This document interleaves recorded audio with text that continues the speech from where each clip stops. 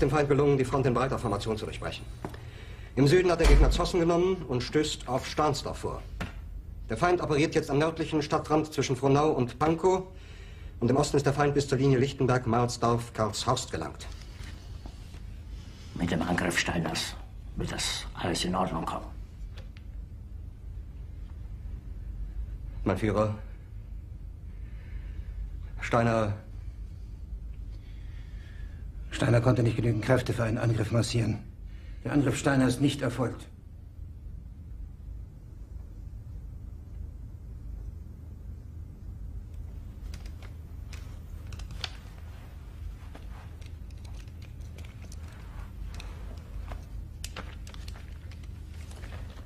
Es bleiben im Raum Keitel, Jodl, Krebs und Burgdorf.